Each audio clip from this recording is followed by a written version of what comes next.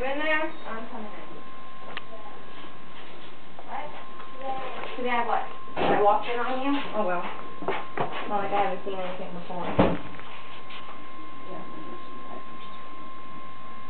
Huh? I said, yeah, we'll do some diapers. Huh. I didn't tell you to move, woman. Twenty-two, really? Oh, Right? Twenty-two? That pizza good? oh, yeah. Yeah? You get me something, I'll throw it out. I'm not drinking it. Odd woman. Where's Even that if it was fruity, you wouldn't drink it. No. Even if, if it tasted like Kool-Aid, you really wouldn't drink it. Pizza. Oh, yum yum. Like, and you didn't taste the alcohol at all, you still wouldn't drink it? Nope. Not even champagne? Really? Nice try. You won't even drink champagne?